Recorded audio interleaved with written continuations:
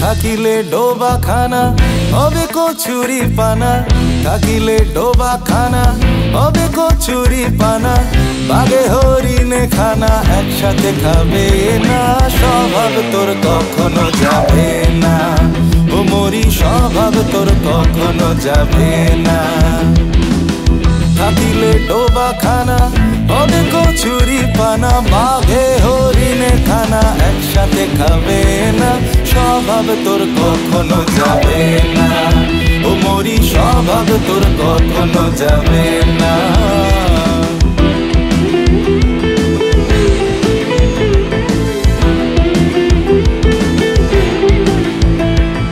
জলের স্বভাব যেমন ধারা নিম্ন দিকে ধায়, আর আগুনেরই স্বভাব যেমন সবকিছু পোড়ায়।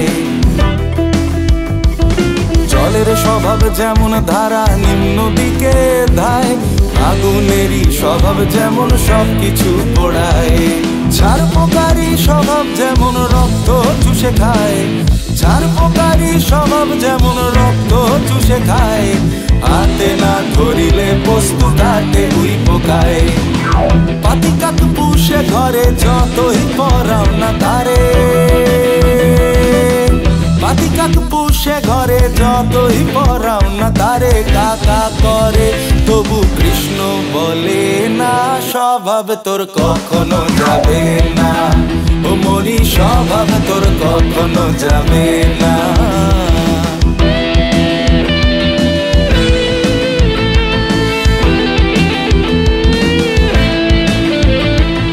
সাপের স্বভাব যেমন মারে, বিষাক্ত ছবল আর ছেলে ছোকরার স্বভাব যেমন পাকায় গন্ডগোল।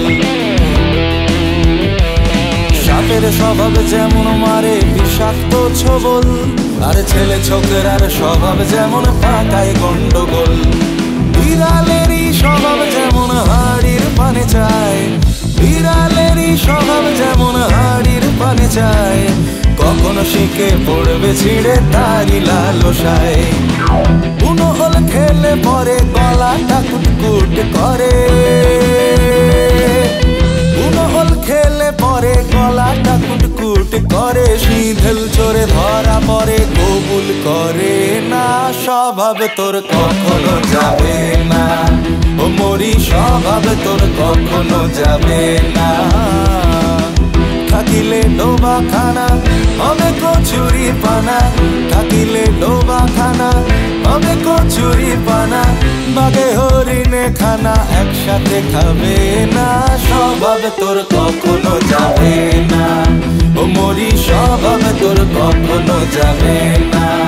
ও মরি, স্বভাব তোর কখনো যাবে না।